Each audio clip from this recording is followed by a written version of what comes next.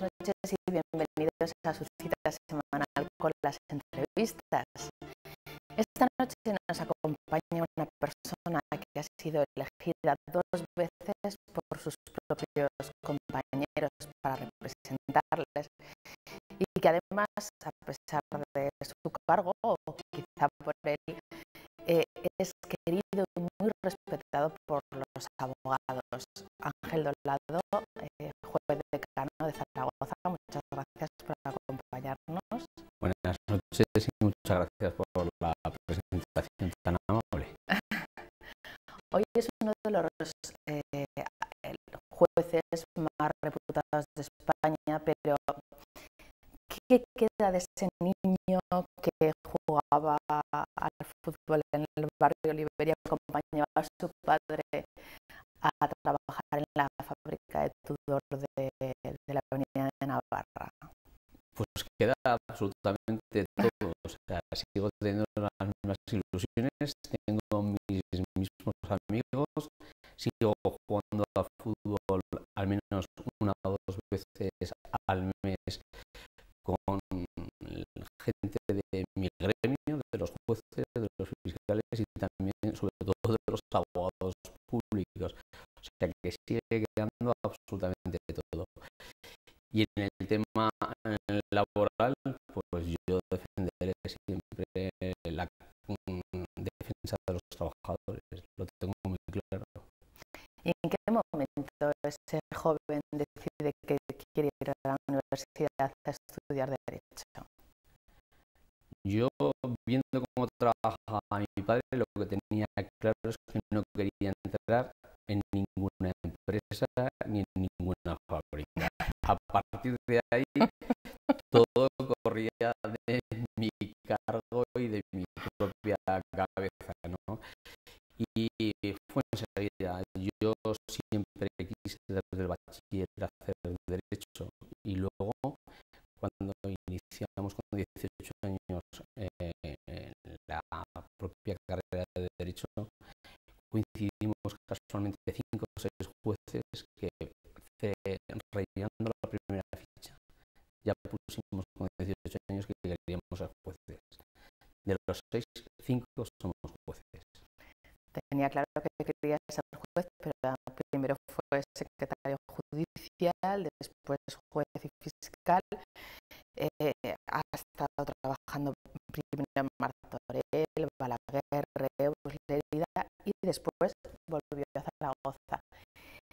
Eh, para la gente que no somos del gremio, ¿qué le gusta más a en su caso, ser juez o fiscal? Supongo que juez porque es a lo que se dedica. Eh, evidente, yo al tener la posibilidad de haber aprobado las tres oposiciones y poder elegir, eh, elegí aquello que creía que podía servir de mejor manera a los ciudadanos. Eso no significa que siendo fiscal lo haría igualmente, ¿no?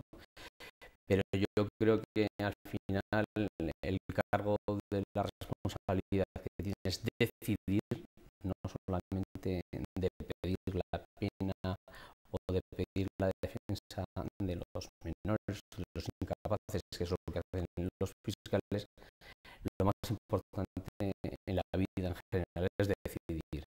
Y eso a mí yo creo que me gustaba y me gusta.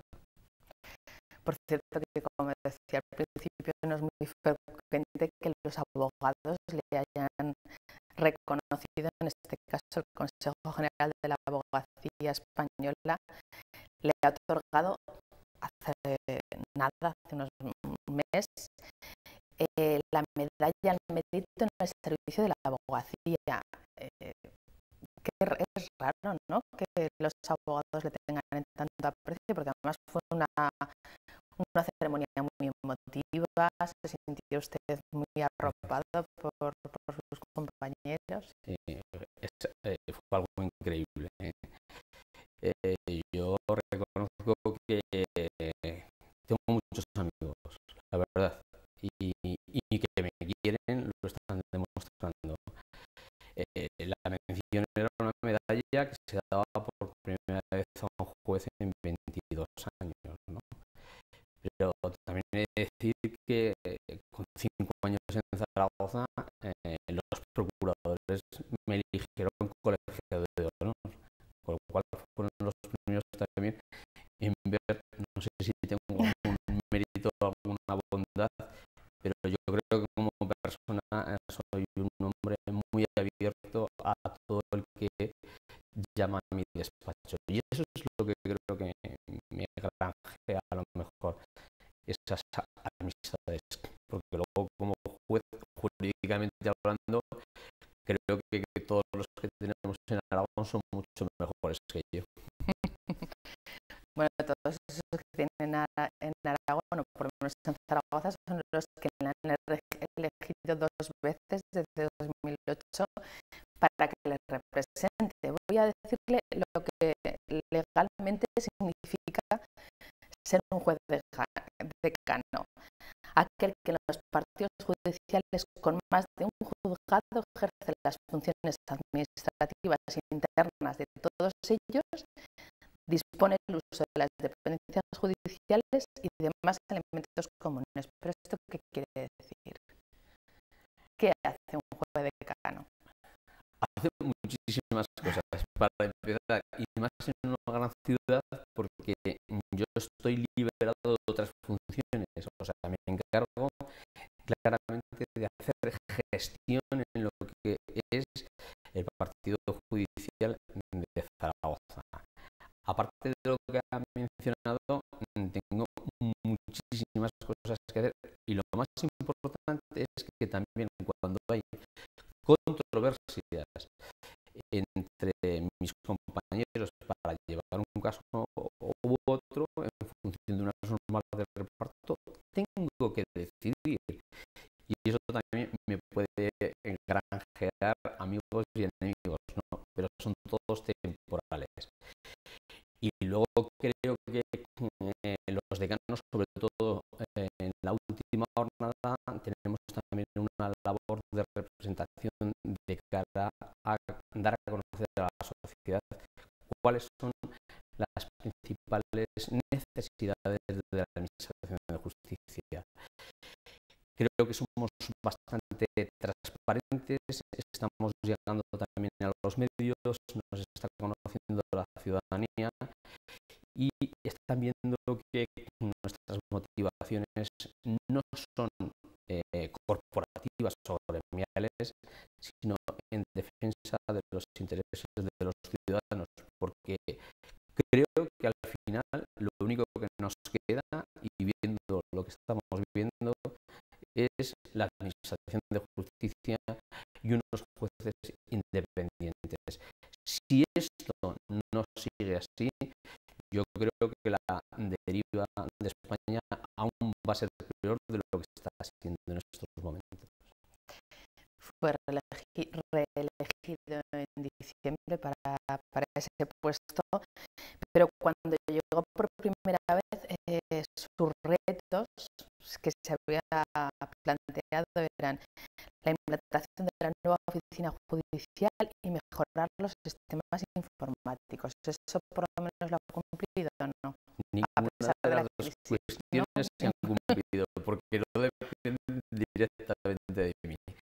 Lo que ocurre es que en el 2008 lo que estaba en boga principalmente era poner de una vez en marcha judicial para acabar con el sistema decimonónico de juzgados mm, pues poco menos que en compartimentos estancos. Los sistemas informáticos sí que hemos tenido conquistas. ¿eh? Ahí estoy un poco más contento, aunque no sea suficiente porque no tenemos un expediente judicial electrónico, pero hemos mejorado notablemente en los sistemas informáticos en la ciudad de Zaragoza y con un sistema de gestión que eh, está, ya digo, mejorando día a día. Pero esos dos retos, que era lo que habría supuesto que Zaragoza hubiese tenido una justicia más rápida y más ágil, al menos en lo administrativo, porque mis compañeros están respondiendo y en calidad, pues eso otro que ya digo no dependía exclusivamente de mí, no se ha cumplido. Lo que sí se ha conseguido es centralizar un poco los servicios en lo que va a ser o ya está siendo la ciudad la justicia. No sé, ha habido voces que critican pues, que está lejos de los despachos. No sé cómo, cómo lo ve usted, si realmente tiene todas las infraestructuras que tiene que tener esa ciudad de la justicia. Eh, las obras están acabando, vamos a iniciar el traslado en el mes de mayo. Yo la semana pasada estuve viendo las dependencias y reúnen todo lo que requiere una nueva oficina desde el punto de vista físico y tecnológico adecuadas. Eh, acabamos con la dispersión de sedes judiciales, por lo tanto los ciudadanos ya ubicarán todo en la ciudad de la justicia y yo en la ubicación no me meto. Desde el punto de vista egoísta, pues claro, muchos de nosotros, también los jueces, los fiscales, los funcionarios, pueden vivir en el entorno centro o en este lado del río. Pero yo creo que si somos un poco más cosmopolitas, eh, cuando les dices a los de Madrid o Barcelona que tenemos una ciudad de la justicia escasamente a mil o dos mil metros de lo que es la Plaza del Pilar y viendo toda la configuración de la ciudad, yo casi diría que hoy la zona de la Expo es el futuro centro de la ciudad de Zaragoza. Y el transporte también parece que va a estar adecuado para esos servicios que tenga que dar. Eso tampoco depende de mí, pero yo al menos ya lo solicito públicamente al ayuntamiento, al alcalde, a la eh, consejera señora Dueso, de que necesitamos obligatoriamente una conexión de la lanzadera desde el tranvía que creo que para el entorno de Gran Casa y necesariamente también desde el centro de las murallas debería ir una línea, no sé si completa o semicompleta o continuación del 40 que acabase en el entorno de la Torre del Agua y de la Ciudad de la Justicia. Porque ¿cuánta, gente, ¿cuánta gente se prevé que pueda necesitar o acudir allí? O bien sea Eh, para, para un caso o para o los propios profesionales. Las estadísticas que tenemos en función de lo que es la Plaza del Pilar y las distintas sedes que ahora tenemos dispersas en la calle Alfonso, en el Coso, en los juegos de menores, estaremos hablando en torno a 6.000 personas. Y eso que el registro civil no viene, porque en función de las reformas Gallardón, al parecer en lo que queda de año o principios del siguiente estará en manos de los registradores de la propiedad, con lo cual el registro civil no se mueve de su ubicación actual en la calle Alfonso. Vamos a ir desglosando todas esas reformas que, que ha ido introduciendo el Sí. ministro Gallardón, pero esta en concreto, ¿qué le parece? La del registro civil. Eh, el desarrollo que estamos conociendo ahora nos parece fatal, mal, porque yo no sé si será la palabra privatizar o externalizar, pero lo está claro que es no va a ser un servicio público tal y como lo tenemos configurado actualmente. La ley que se pactó hace dos años con el PSOE y que debería desarrollarse en un periodo de tres años, lo que establecía claramente es que la figura del juez encargado del registro civil como tal desaparecía, pero quienes iban a desarrollar esa función, que podían ser los secretarios judiciales perfectamente capacitados para ello y los funcionarios que tenemos largamente especializados y durante años. Por lo tanto, eso se podría haber desarrollado con estos profesionales que ya los tenemos. En cambio, al externalizarlo y de de la propiedad, lo primero que tenemos es un grave problema porque se trata de un colectivo que entiende mucho de registros de la propiedad y mercantiles, pero que va a ser un problema porque eh, el llevar a cabo esas inscripciones, esos expedientes matrimoniales, nacionalidades en toda España, ya la larga tradición de los jugadores, no creo que beneficie nada. Y lo más importante, si lo tienen los registradores, está claro que ahora ningún documento de los que se tramiten al registro civil pagamos un solo euro. Yo no sé si será bueno o malo, pero lo que está claro es que cuando lo tengan los registradores habrá unos derechos económicos a abonar y seguro que no son meramente simbólicos como podrían ser en la administración de justicia pues para evitar abusos, claro. Precisamente velar por la independencia de, los jueces es uno de los requisitos por los que se fundamenta el Foro Judicial Independiente que usted preside. ¿Me equivoco si digo que es uno de sus objetivos o no? Pues sí, yo estoy muy orgulloso de la Asociación Foro Judicial Independiente. Ha sido la cuarta en crearse. Somos ya 310 jueces distribuidos en todo el territorio nacional y hemos surgido porque no nos gustaba lo que había, eh, creíamos que algunas asociaciones eran claramente correa de partidos políticos o así se conoce desde el punto de vista de la opinión pública y eh, nacimos para mm, garantizar ante todo la independencia del Poder Judicial. Y eso lo vamos a mantener a capa y espada porque las reformas que se nos anuncian por parte del ministro de Justicia puede hacer peligrar esa independencia del Poder Judicial y de los jueces se mantenga en España.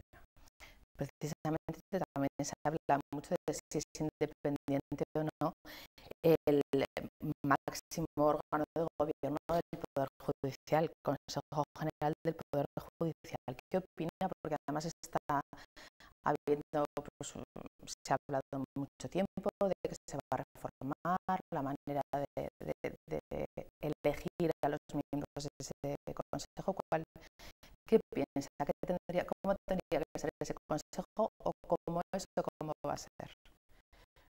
Vamos por parte. Lo que tenemos claro, y aquí ya sí que hablo por todos los jueces, es que la reforma que nos está planteando el ministro Gallardón no nos gusta a nadie, pero tampoco por, por, por o por una cuestión gremial. No nos gusta porque es claramente un atentado a la independencia del Poder Judicial. La reforma que se plantea viene a significar que las personas que estén en el Consejo General del Poder Judicial prácticamente son elegidos directamente Ejecutivo, ya lo sé que se da por el Parlamento, pero las funciones y las competencias y la forma de ser elegido significará que seríamos una especie de dirección general del Ministerio de Justicia. Y eso acaba claramente con la independencia de los jueces. ¿Qué es lo que los jueces queremos para defender los intereses de y para intentar despolitizar la eh, justicia a través del órgano de gobierno del Consejo General del Poder Judicial, que al menos los 12 vocales que podemos elegir los jueces lo hagamos directamente y democráticamente los 5.200 jueces que estamos en activo a través de un juez, un voto. ¿Y por qué? Porque estoy convencido de que no podemos elegir de peor manera a como se han estado eligiendo los vocales del Consejo General del Poder Judicial, judiciales en los últimos 25 años. Nosotros no vamos a elegir a los compañeros que se dejen eh, convencer por los políticos unos u otros en el gobierno. Vamos a elegir lo más preparados, aquellos que puedan defender a los ciudadanos en todas las reformas en las que nos toque informar. Y eso es lo que queremos, que nosotros podamos elegir a esos 12 jueces para que sean una clara respuesta a lo que puede ser un gobierno de futuro, sea. ¿Y hay posibilidad de que, le hagan, que les hagan caso o no? Parece ser que ninguna. Y lo digo así de abiertamente, porque en el programa electoral del PP se dijo que la reforma iría por esta línea, que 12 vocales serían elegidos por los jueces y un juez, un voto, y sin embargo al señor Gallardón pues no recuerda sus promesas y a mí ahora lo que más me preocupa es que si es una línea eh, argumental del ministro y del gobierno, pues allá cada cual ¿no? tiene su mayoría parlamentaria y nosotros los jueces lucharemos para que no sea así, pero a mí lo que me preocuparía ahora es que hubiese un pacto de Estado con el otro grupo mayoritario, con el PSOE, entendiendo que le pudiese beneficiar si dentro de X años puede volver a gobernar. Porque entonces serían los dos responsables del secuestro, y lo digo así claramente, de la independencia de los jueces en España en los próximos años. Y con la que estamos viendo, donde se habla claramente de una regeneración política y democrática en España, esto no nos interesa a los ciudadanos. Ya no hablo como juez, sino también como ciudadano.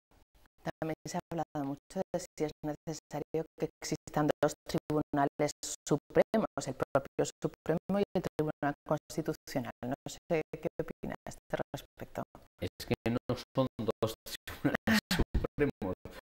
Uno se encarga de lo que es la jurisdicción ordinaria y el constitucional, que no eh, es un órgano jurisdiccional, eso lo tenemos que tener en cuenta, pues hace su labor. Pero lo que sí que es claro que las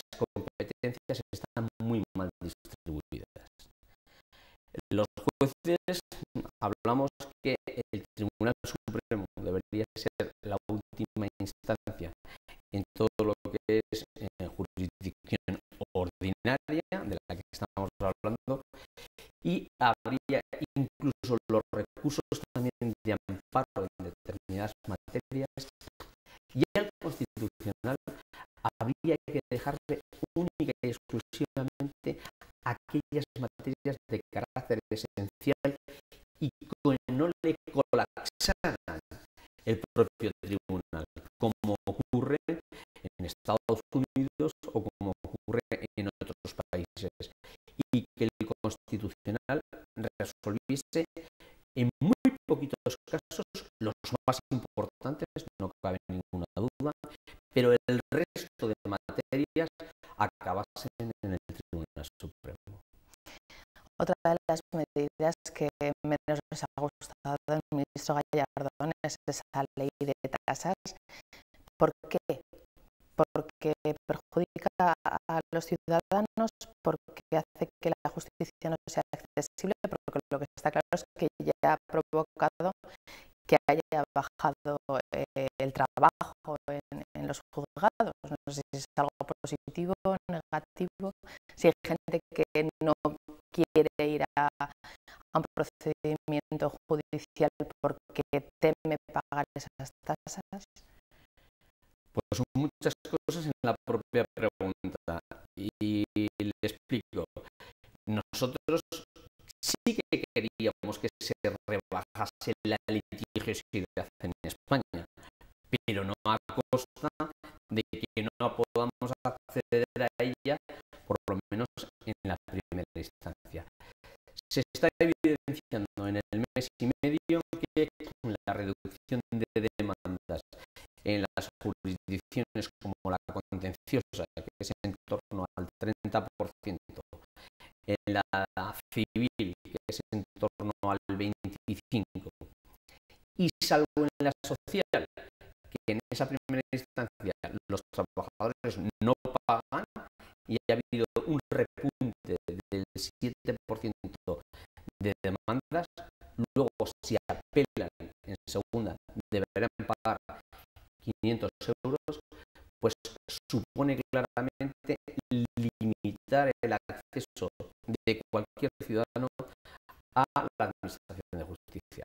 Lo van a entender todos ustedes.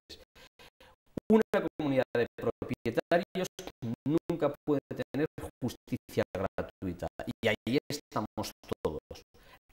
Reclamar un problema de nuestra comunidad de propietarios contra los promotores, contra los arquitectos, nos puede costar como comunidad muchísimo dinero para llegar a la demanda, porque hay que pagar el 0,5% de lo que reclamamos.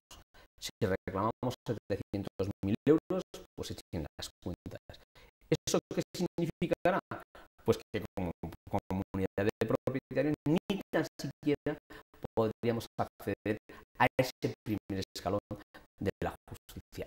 Esto es lo que nos estamos jugando con la ley de tasas y por lo tanto yo espero que el Constitucional suspenda cautelarmente igual que ha hecho con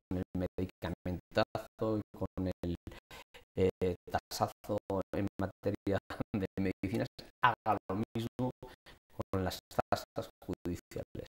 De verdad, si alguna confianza me queda en el Constitucional, que sea también con la ley de tasas. En el caso de Zaragoza, los secretarios judiciales han logrado encontrar un resquicio legal, por ejemplo, para no cobrar tasas en el caso de divorcios de mutuo. ¿Eso cómo lo valora? Lo valoro muy positivamente y felicito, lo he hecho ya en alguna otra emisora a los secretarios judiciales de familia porque aplican la realidad social y ante una ley mal hecha y si hay que interpretarla, hay que interpretarla pero de forma restrictiva, es decir, para no cobrar. Y en el caso de las separaciones o divorcios de mutuo acuerdo es clarísimo, porque es que si no, si vamos a liquidar también el régimen económico matrimonial, habría que pagar el 0,5% del pisito que tenemos, que seguramente todavía lo debemos, del coche y demás. Eso no tiene ni pies ni cabeza. Pero si se interpretase mal la norma, habría que exigirla. Por lo tanto, felicito eh, pues a mis compañeros los secretarios judiciales que, por cierto, van a recibir este mismo año una medalla de la Facultad de Derecho, con lo cual es extensivo a todos ellos. Lo que está claro es que el mundo judicial eh, no está contento con las nuevas eh, reformas que se están introduciendo.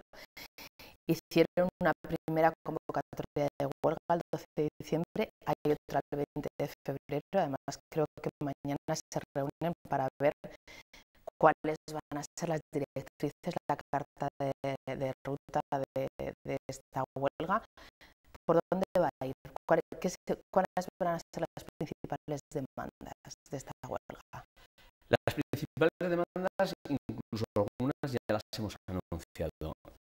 Queremos más inversión en justicia, que se duplique la planta de jueces, porque tenemos la mitad en el resto de Europa, 10 por 100.000 habitantes, cuando otros tienen 19.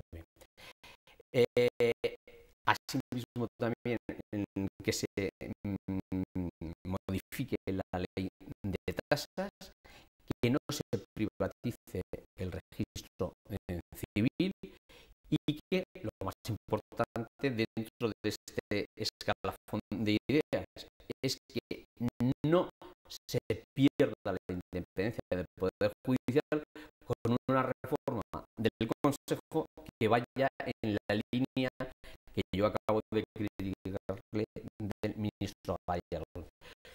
Todo eso ha conllevado que eh, eh, fiscales, nos pongamos mayoritariamente de acuerdo en ir a la huelga. Y también anuncio que tenemos el respaldo de bastantes colectivos de secretarios, de funcionarios de justicia y también del Consejo General de la Abogacía Española. Por lo tanto, no creo que estemos muy desencaminados en que lo que pretendemos es mejorar la administración de justicia, porque ya ven que en las reclamaciones no he mencionado para nada el tema retributivo, porque ni lo reclamamos, ni lo exigimos, ni tampoco el tema de permisos de los jueces. O sea, son los que acabo de indicarles. En cualquier caso, en las últimas semanas se habla más que nunca de, juicios precisamente por los casos de corrupción política. Eh, también se han sabido, se han dado a conocer sentencias de casos, por ejemplo, el Payaros, de, que afectaba a Convergencia, de eh, sucesos que sucedieron hace casi 20 años. ¿Cómo puede ser tan lento un proceso judicial? Es que el problema no está en el proceso judicial porque los jueces eh, seamos más o menos rápidos. El problema está en la ley. En la ley que no han querido cambiar los políticos, que es la ley de enjuiciamiento criminal. Y no lo hacen a propósito. Porque si fuésemos más rápidos, tramitaríamos de forma más adecuada los delitos de corrupción entre los que están mencionando. Y es muy claro. En ese procedimiento hay un montón de personas que estaban aforadas. ¿Qué significa aforada? Que tienen un privilegio de tribunal y podrían ser diputados eh, de un parlamento, podrían ser diputados de la nación y eso significa que el procedimiento se ha ido derivando a tribunales más altos como puede ser el Tribunal Supremo, Tribunal Superior de Justicia y juzgados ordinarios. Esos que tienen determinadas personas en este país hay que eliminarlos. Y luego también, ¿qué ocurre? Que nuestro procedimiento penal admite recursos por cualquier tontería. Y eso lo único que conlleva es que el procedimiento se vaya alargando, se vaya alargando. Eso también los jueces hemos pedido que se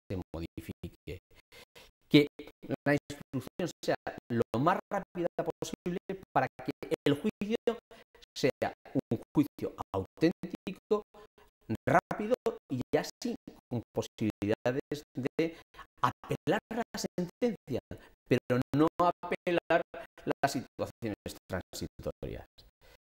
Ni que decir tiene que en esos casos, no el de Palleros, pero otros que son muy graves, en dejas a la persona que está sometida a prisión preventiva en libertad bajo fianza, automáticamente entran en juego todos los derechos de defensa y, como ya se pueden imaginar, los agotan hasta el infinito, con legitimidad, porque la ley lo ampara. Pero lo que pedimos es que la ley se modifique en el sentido de que se aceleren los procedimientos porque se puede conseguir, pero desde luego no es porque los jueces trabajemos mal o trabajemos lentamente. Eso que tengan todos ustedes claro. Y nosotros llevamos pidiendo la modificación de las leyes, pero es que aquí nadie nos hace caso. ¿Y cómo puede ser que casos como el de los que estábamos hablando se solventen con que devuelvan el dinero que se malversó y casos, por ejemplo, como hace poco que ha sido finalmente indultada por presión popular de una mujer que se encuentra en una tarjeta de crédito y gasta 190 euros en artículos de primera necesidad, casi está a punto de ir a la cárcel. ¿Esto a quién le echamos la culpa? Para es una vergüenza. No sé si habrá que echarle la culpa, pero es una vergüenza que el caso Palleros haya acabado simplemente con devolver el dinero y sobre todo pidiendo un crédito en vez de habérselo cogido de lo que se le esté dando de los presupuestos generales del Estado o de donde sea este año al propio partido es que es increíble y por lo tanto me parece eh, absolutamente eh, fatal pero yo creo que el otro caso no tiene nada que ver es una persona que por circunstancias de la vida tuvo que cometer un delito y es evidente que en este caso el indulto estaba justificado. Yo no estoy a favor de, de, los otros indultos que se han eh, dado. Por yo de la ejemplo, figura del indulto, correcto, yo de la figura del indulto como juez eh, no me gusta absolutamente porque deja en baldío todo el trabajo de los jueces y en base a unos derechos de gracia del Ejecutivo nuevamente, de este o del que venga, porque en la tradición histórica, el otro día leía en el país que el número de indultos que se han dado en, la trans- en España en los últimos años ha sido elevadísimo. Y por lo tanto, yo no estoy a favor de la figura del indulto. Lo que creemos es que cuando una ley, aplicándola a rajatabla, es desproporcionada en la pena, lo que deberíamos tener también los jueces es el recurso para poder aplicar algún tipo de atenuante o de modificación legal para disminuir la pena y por lo tanto propiciar el cambio legislativo. Pero desde luego todos los recursos indultos que hemos oído últimamente en el tema del kamikaze, en el tema de los torturadores, pues claro, eh, dejan la impresión de que aquí hay una eh, justicia de gracia del Ministerio de distinta intensidad en función de quién la pide y cómo la pide y a través de qué asesoría jurídica se pide. Y por ejemplo, también se acaba de cumplir un año de la inhabilitación al juez Garzón precisamente por las escuchas del caso Gürtel. A la ciudadanía en general le sorprende que hasta ahora el, el gran damnificado haya sido precisamente el juez que, que instruía este caso. No sé qué opina al respecto. Bueno, ya Además, he creo que dicho- conoce personalmente al juez Garzón. Sí, yo les he dicho que en el tema Garzón no puedo ser objetivo porque yo preparé los casos prácticos de jueces y fiscales cuatro meses en su propio domicilio y por lo tanto no puedo ser objetivo. Pero dicho esto, lo que no cabe duda es que hay una sentencia del Tribunal Supremo y que está todavía recurrida en amparo y no sabemos cómo acabará el procedimiento. ¿no? Pero nadie lo entiende a nivel, por lo menos, europeo y en Sudamérica. ¿no? Que un juez que ha investigado todo lo que se le ha puesto sobre la mesa, haya sido terrorismo de ETA, terrorismo del GAL, contrabandos, eh, bueno, todo lo que ustedes saben, pues haya acabado así. Mm, La, verdad es que el procedimiento era complicado y a lo mejor pues no debería haberse seguido eh, analizando el tema Gürtel si era de jurisdicción ordinaria, como al parecer ha sido, ¿no? Pero ya digo, ahí ya hay una sentencia que desde el punto de vista jurisdiccional ordinario, es Supremo, es firme y a mí me puede gustar más o menos, pero hay que acatarla, cumplirla. A nivel personal no me gusta y yo espero que se reincorpore a la judicatura, a lo mejor a través del indulto. En cualquier caso, eh, pues hablando de todos esto- estos temas de corrupción, hace apenas una semana todos los jueces decanos de España se pusieron de acuerdo en firmar una carta en la, que alertaban sobre la falta de medios para estudiar precisamente los casos de corrupción y más decían cuando se están despidiendo jueces y secretarios judiciales por toda España. Eh, va peor, me- según. La situación de falta de medios. Porque Eh, hablaban de que no había peritos especializados. ¿Cuál es la situación para estudiar estos casos? Aquí hay dos cuestiones eh, que están interrelacionadas. Necesitamos más jueces porque con la reforma Gallardón, que ya está en el BOE, hemos perdido eh,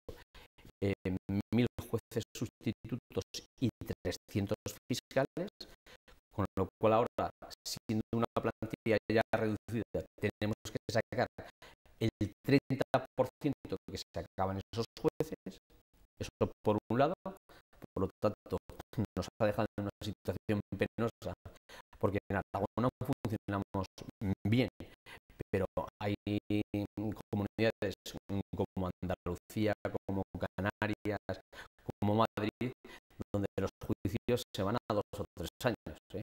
Eh, aquí es rara avis eso, porque ya digo que mis compañeros, los jueces fiscales y secretarios funcionan con los, eh, adecuadamente, igual que los funcionarios. Pero mm, la otra cuestión que estamos planteando es que además la Audiencia Nacional, que sí que tiene que ser el buque insignia actualmente, porque tienen más medios que los jueces de a pie que digo yo de provincias, tiene que encabezar todo el tema de la corrupción política, de los delitos, de las mafias, de los delitos económicos. Pero lo que ellos piden y nosotros como decanos, que también son compañeros nuestros, pedimos es lo que venimos diciendo, tener especializados en la materia adscritos y bajo la dirección directa de los jueces de instrucción de la Audiencia Nacional o de los del territorio. Es decir, que si yo como juez de instrucción digo a la agencia tributaria de Zaragoza, necesito dos inspectores de Hacienda especializados en este tema, a partir de ese momento quedan escritos a mi juzgado hasta que yo acabe esa instrucción. Eso es lo que pedimos para los compañeros de la Audiencia Nacional. Lo mismo con un cuerpo de peritos calígrafos, de auditores de cuentas. Llevada la figura, para que nos entienda la gente, de los médicos forenses, que sí que los tenemos bajo nuestra dependencia y en colaboración directa, eso mismo con esos otros colectivos que llegaríamos a ahondar más rápidamente en las investigaciones de la Audiencia Nacional. Eso es lo que pedíamos en ese documento que firmamos los 50 jueces decanos de, de España. Se acaba nuestro tiempo, no me resisto a dejarle ir sin hacer una última pregunta. Usted ha sido muy beligerante con el tema de los desahucios, eh, pidiendo que se admitiese la dación en pago. ¿En qué situación legal está ahora mismo este tema? Porque se ha hablado mucho, ha habido muchas buenas voluntades, pero no sé, no sé en, qué, en qué fase está saben que tenemos un decreto que establecía una moratoria de dos años para que determinadas familias en una situación muy lamentable se puedan amparar con esa paralización de los desahucios y de la ejecución directa durante dos años. Y esa decreto de ley está en tramitación parlamentaria. Y al hay una iniciativa legislativa popular con más de un millón de firmas de todos los ciudadanos que ahora se está exponiendo por sus eh, portavoces en el Congreso para que la ley sea mucho más amplia en su configuración, que se modifique la ley hipotecaria. ¿Cuál es mi impresión van a hacer absolutamente ningún caso. Porque los jueces de lo mercantil, y ya me voy a, un terreno similar, lo que vienen diciendo, sobre todo para aquellas personas que todavía no han sido lanzados, e incluso para aquellos que ya han sido desahuciados de sus casas, pero todavía tienen deuda, el que se puedan cobijarse en la ley del concurso de acreedores. La suspensión de pagos que tenemos para las empresas se tenga para las familias, para las personas, y sea el juez de ese concurso de acreedores en la familia el que pueda determinar si lo verá con buena fe, si sus circunstancias eh, laborales o familiares han empeorado, pero sin causa imputable a dicha familia que el propio juez, igual que ocurre en los concursos de empresa, se le dé una segunda oportunidad a ese ciudadano y se dé por extinguida totalmente la deuda y pueda eh, sobrevivir en una economía no negra, sino claramente blanca. Eso es lo que se pide por parte de los profesionales, que haya una ley que se denomina de sobreendeudamiento de las personas físicas. Pero eso en el Congreso no se está hablando en este momento para nada. Incluso dos jueces que deberían asesorar en esta materia, ya le digo que han sido vetados por los dos partidos mayoritarios. Era un juez por un sitio y otro juez por otro, por ninguno de los dos. Y yo siempre he dicho que en esas comisiones debería haber jueces, porque somos los que estamos viendo el sufrimiento diario de las personas que están siendo los lanzamientos vulgarmente llamados desahucios, pero que mis compañeros no quieren que diga esta palabra porque se confunde con los que no pagan los alquileres y tienen toda la razón. Pues espero sinceramente que esté equivocada y que la próxima vez que tengamos en esta eh, en ZTV pues nos pueda dar una visión más optimista Pues esperamos que así sea porque de verdad hoy el momento es bastante negro en cuanto a la perspectiva de lo que va a ser la administración de justicia de forma inmediata e inmediata. Pues Ángel un placer tenerle con nosotros.